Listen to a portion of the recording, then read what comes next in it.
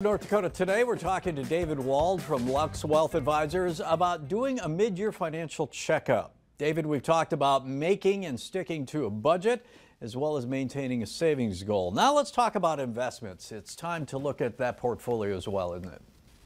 Yeah, you know, it's interesting. We've had really the last two years, two and a half years, we've had some pretty extreme swings in the market, both in the fixed income or bond market as well as in the stock market. Right now, everybody probably looks at their 401k and is pretty happy. If you would have went back a year ago, um, they weren't so happy. So really, it's a great time to look at your portfolio and say, okay, do we need to make any changes? Do we need to rebalance our portfolio? What I mean by that is, you know, if, if your if your stocks have had a good run up, maybe it's maybe we need to sell some of them because the portfolio is too aggressive now because they've had a good run up and the bonds have been, you know, pushed down, maybe we sell some stocks and buy some bonds. But rebalancing that portfolio is so important. And if you know if that portfolio is outside of your retirement plan, make sure you talk to your tax advisor to make sure that you know you don't have any unnecessary tax consequences from that. Okay, is there a guideline that people can follow for how age and maybe risk level coordinate when it comes to investments?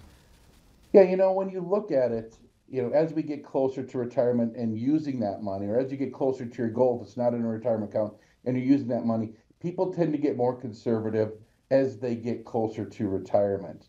One thing I always caution people is not to get more conservative than they need to be. So when you go into retirement, Wayne, and let's say you retire at 65, that portfolio with your life expectancy of 87, just the average male life expectancy, is still a 22 year portfolio. So getting it too conservative may cause things like not keeping up with inflation or taking advantage of, of market upswings when you could be taking advantage of those.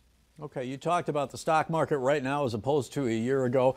Let me throw you a bit of a curveball here. Because of the volatility we've seen on the national level on the political side, you've got one candidate that uh, is, is going through an assassination attempt. You got another candidate who drops out on, Sat on Sunday, and someone else will be stepping in for him. Is that going to, in your mind, affect the stock market and, and how our portfolios do? Well, the stock market does not like uncertainty. Yeah. And that does have an effect. Now, we've seen it be relatively calm in the last week and a half, even with what's going on in the markets. We had a couple of days where the markets pulled back significantly. Part of that is people taking profits. But I think even more than the, the than the presidential election, people are going to wonder what are the feds going to do? When are they going to cut interest rates? Yeah. Because that will have the biggest effect, I feel, on the markets. Yeah. And and we've been you know, we've been hearing rumblings that, you know, maybe at this time this year, maybe later this year, we don't know when interest rates are going to be down. Is that going to make a big effect on people? Is that going to give people more confidence as far as the economy is concerned?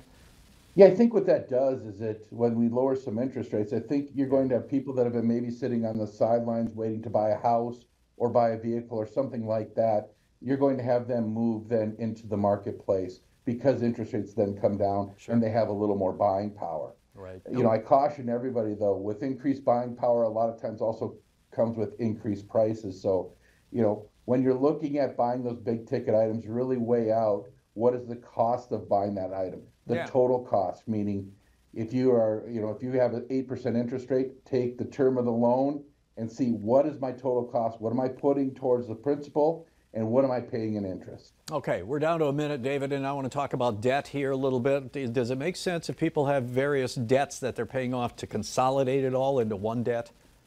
It really does. And sometimes it makes it, number one, easier to manage and you can see progress towards your goals. That's huge for people. If they can see progress, like I'm chipping away at this debt and I see some meaningful mm-hmm. reduction in my debt, people feel good about that.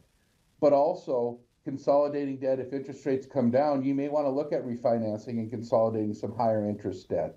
Okay. The lower interest debt, a lot of times, like right now, if you did a mortgage, you know, five years ago, leave it alone because more than likely it's it's less than half of what it or less than uh, half of what it would be now. So make sure that you are staying within that budget of what you can afford on a monthly basis. All right, really, really quickly health, life, home, auto insurance. It's a good time to review that as well. Re- review all your insurance coverages. Make sure that you have an appropriate amount of coverage. A lot of times I see people come in here and their auto insurance is way too low. If they get in an accident and they get sued, they'll, you know, they're covering a hundred thousand dollars. That's not much anymore. They get sued for a million dollars. The insurance company covers the first hundred thousand. You got to come up with the next nine nine hundred thousand. That could break you. Yeah, and home prices have increased as well, so make sure you're covered uh, properly with your home insurance. David Wald from Lux Wealth Advisors, thank you so much. Great information. We appreciate it. Thank you. All right, coming up, we're going to talk to Claire Hinke from Love and Care about the home health care options they provide.